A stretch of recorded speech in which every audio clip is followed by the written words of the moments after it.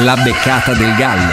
La beccata del gallo. Commento sportivo alla giornata del campionato di calcio italiano.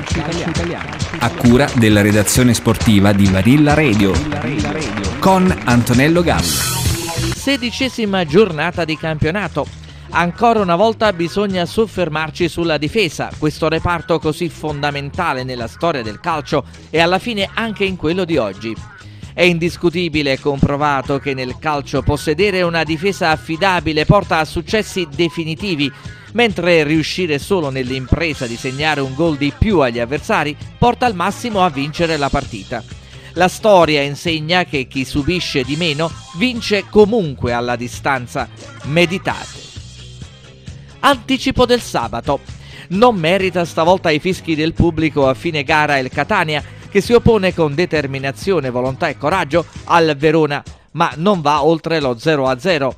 Con sorpresa rivediamo la squadra di Decanio fare sfoggio di queste caratteristiche positive, anche se la concretizzazione del gioco prodotto è scarna.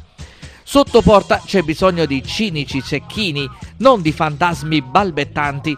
Con un Berghessio in campo dal primo minuto e al 100% della forma, probabilmente i rosso-azzurri sarebbero riusciti a vincere una partita che hanno comunque condotto dall'inizio alla fine.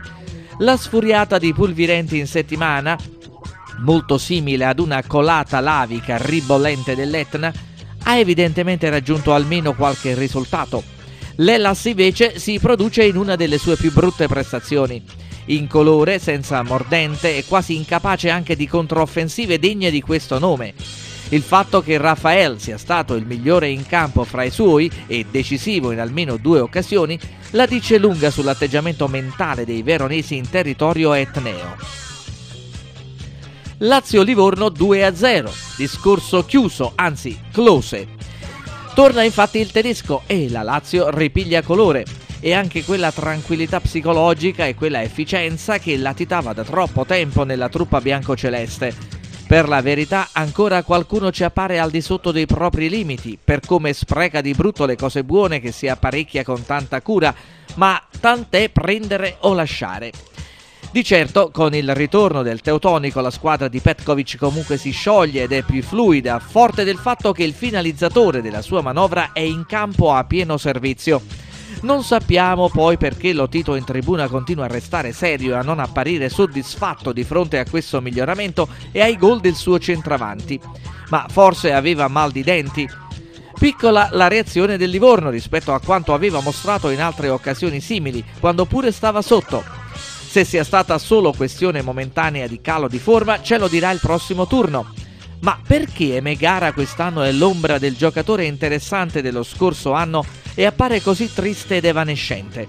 Lo ha lasciato la fidanzata o si è accorto di non digerire bene le triglie alla livornese e vuole così cambiare aria? Non è facile di questi tempi battere l'Udinese, ma il Torino ci riesce addirittura a casa sua con un secco 2-0. Al di là del fatto che i gol potevano essere di più, da una parte e dall'altra, è la squadra di Ventura che ancora vanta fiera un'ottima interpretazione del modello classico di gioco all'italiana, che quando è fatto con saggia oculatezza può dare buoni frutti e in definitiva è anche bello a vedersi. Quindi squadra risoluta, tangibile positiva in difesa e con un ottimo uso dei contropiedi. Cerci si diverte a fare il Totti con gli assist che sforna per i compagni che non lo deludono e costruiscono bellissime segnature. Toro di Ventura come il Napoli di Mazzarri? La strada ci pare proprio quella. Del resto in anni passati l'Atalanta di Strumberry o il Genoa di Scuravi regalarono ai propri tifosi grosse gioie in campionato ed in Europa proprio con i prototipi tattici rispettabilissimi di questo tipo. E dal momento i Granata meritano l'Europa. L'Udinese non gioca male, le prova tutte, ma non è serata perché gli errori sono tanti. Le occasioni i bianconeri le hanno ma senza sfruttarle. Il Toro controlla senza disunirsi e resta inviolato. Che era in crescita ce ne eravamo accorti dal match contro la Roma. La prova per la Fiorentina arriva anche da questa bella vittoria per 3-0 contro il Bologna, che è netta e senza storie, con la manovra scorrevole e avvincente diretta da Borja Valero. Però a garanzia di questo progresso, perlomeno di una certa stabilità in tal senso che è mancata ai Viola fino a questo momento, Aspettiamo ulteriori conferme, in quanto gli avversari emiliani dell'occasione sono stati davvero poca cosa. Confusionari, senza grinta e con la cresta abbassata alle prime difficoltà. Dove è finita quella discreta compattezza e robustezza difensiva che peraltro aveva fatto sudare anche la Juve? Scomparsa nel nulla. Non possono permettersi a Bologna questi cali di tensione. Doppia beccata per loro, meritata. Al Tardini di Parma nulla da festeggiare per i padroni di casa contro il Cagliari, dato lo scialbo 0-0, ma piuttosto da celebrare il centenario dei padroni di casa. Questo motivo è l'unico valido per parlare di questo match che ha dato pochissime emozioni e per questo giustamente terminato in parità senza reti. I Ducali giocano quasi come se fossero i calciatori in campo a festeggiare il secolo, visti i ritmi ed i sardi non fanno nulla di particolare per stimolare e condurre la gara su altri binari. Il tecnico Lopez sa imbrigliare gli emiliani a centrocampo e sfiora anche il colpaccio con un palo di Nainggolan. È decisamente un'altra Samp quella del serbo Mihailovic.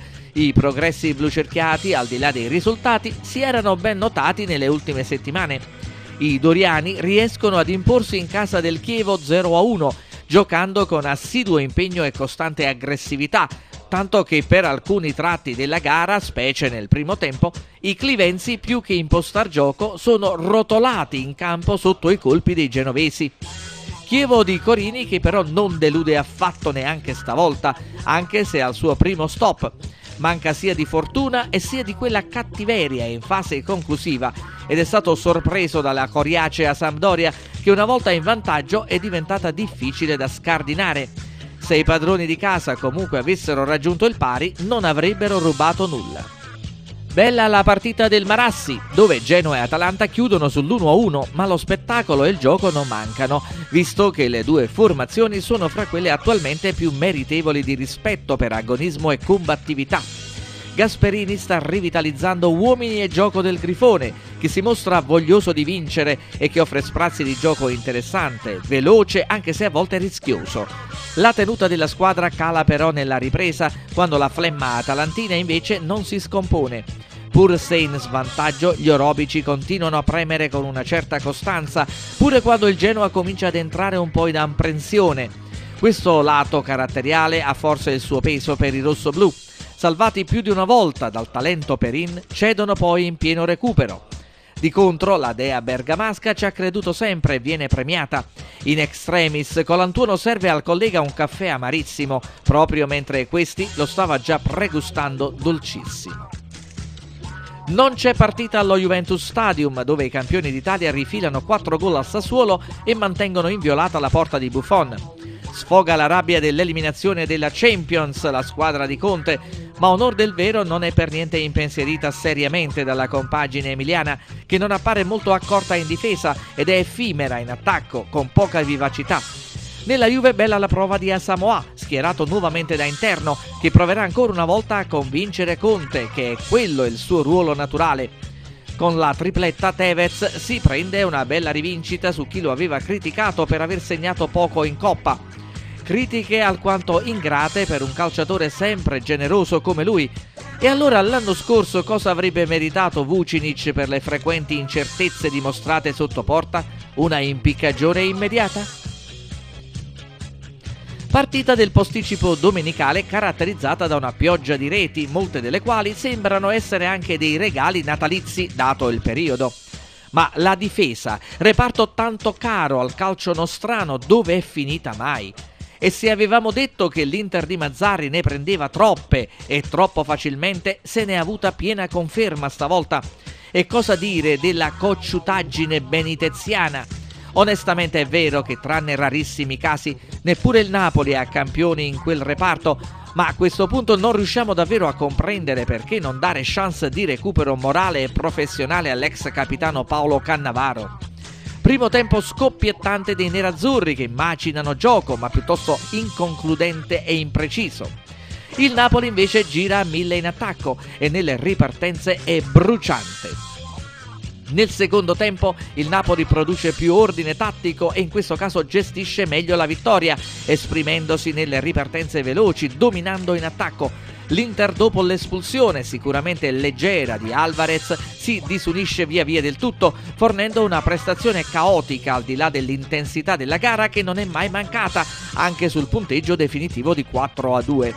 Va infine detto che è stato un peccato il rigore fallito da Pandev Forse sarebbe stato preferibile che il Macedone lo preparasse spalle alla porta e poi girarsi a calciare. È la sua giocata classica in cui segna di solito. Ed in fondo il regolamento non vieta un tale rigore, no? La beccata del Gallo. La beccata del Gallo. In studio Antonello Gallo. Antonello Gallo.